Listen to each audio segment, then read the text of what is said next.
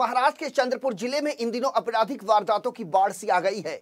चोरी हो, छिनैती हो, झपटमारी हो या बैग लिफ्टिंग का मामला, इन तमाम मामलों से पुलिस भी सख्ते में है और तथाकथित अपराधी पुलिस के साथ आँख मिचौली का खेल खेल रहे हैं, आपराधिक वारदातों को अंजाम दे रहे हैं। लेकिन पुलिस ने तथाकथित अपराधियों के खिलाफ अपनी मुहिम को अभी भी जारी रखा है, जिसमें पुलिस को एक बड़ी कामयाबी हासिल हुई। दरअसल कुछ दिन पहले चंद्रपुर के सुलभ प्रोविज़न दुकान के मालिक और व्यापारी दीवान जी गुरदास मानकर ने चंद्रपुर ज़िले की शहर पुलिस स्टेशन में शिकायत दर्ज कराई थी कि उनके हाथ से रुपयों से भरा बैग दो अज्ञात बदमाशों ने छीन लिया और मौके से फरार हो गए। व्यापारी की शिकायत दर्ज करने के बाद चंद्रपुर की शहर थाना पुलिस प्रभारी सुधाकर अंबुरे ने अपनी टीम के साथ मामले की जाँच शुरू की और सबसे पहले उन्होंने सड़कों और रास्तों पर लगे सीसीटीवी कैमरे को बड़ी बारीकी से खंगाला।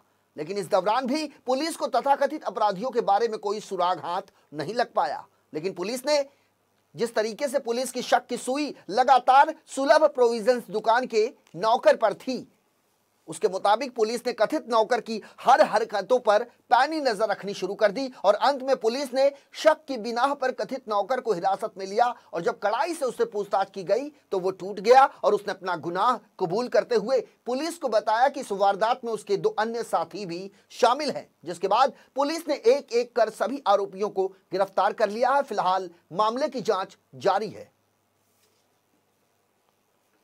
श्री परमारजी सुलभ प्रोव्हिजन्स दुकानातून त्यांचे जे दिवाणजी आहेत गुरुदास मानकर सिस्टर कॉलनीमध्ये राहतात अठ्ठावन्न वर्षाचे ते पैसे घेऊन जात असताना या नमूद आरोपींनी त्यांच्यावर वॉच ठेवून त्यांची पैसे एक लाख अठ्ठ्याहत्तर हजार रुपये असलेली बॅग कुठं दुकान आहे ते?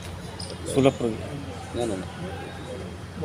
मुस्तफा मुस्तफा डेकोरच्या गल्लीमध्ये ती बॅग हिसकली आणि ते पैसे घेऊन पळून गेले. ॲक्च्युली कुठलाही क्ल्यू नव्हता.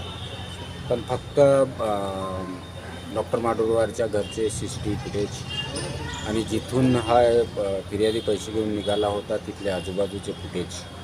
या फुटेजवरून आम्ही हा गुन्हा उघडगे केलेला आहे.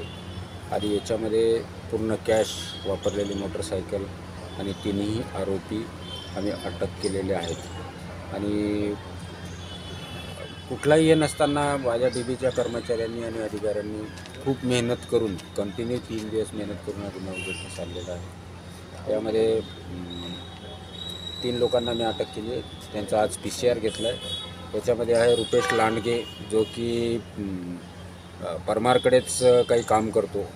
आणि त्याने त्याचे दोन मित्र गोळा करूनही गेलेला आहे. तर तिघांनाही अटक केलेली आहे. यामध्ये एक आहे ताज अरमान कुरेशी आणि ऋतिक प्रभाकर वालकोंडावा यांनी ॲक्च्युली दोन दिवसापासून हे करण्याचा प्रयत्न करत होते. पहिला प्रयत्न फसला मग यांनी राजला ताजला बोलावलं.